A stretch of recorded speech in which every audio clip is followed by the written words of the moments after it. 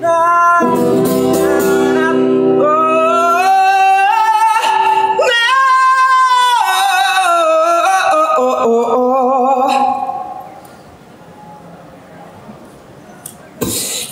がもしとびっきり美人に生まれてた。ら多分幸せな僕はここにいないんでしょう。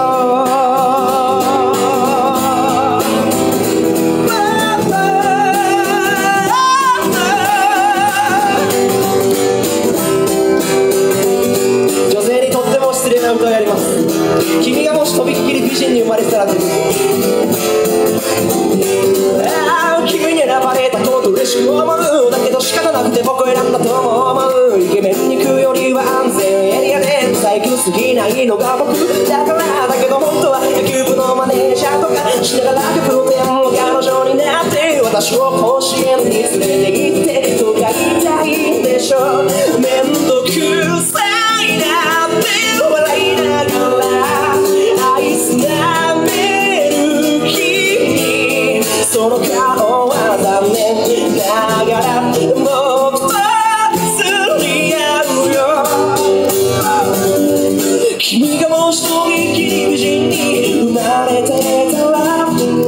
多分幸せな僕はここにいない。んでしょう」「誰もが見なんて女と懐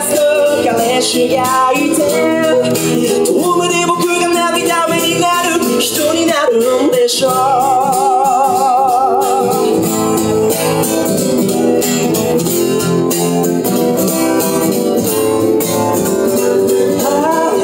全部同じなんでしょう言われると違うは嘘に変わるよ君より可愛い人は山ほどいるだけどやっぱ君が一番可愛いんだこれは女優アイドルの可愛いじゃなく赤ちゃんワンちゃんの可愛いでもないそうかこれが唯一のにっていうものから今気づいたよ失礼だって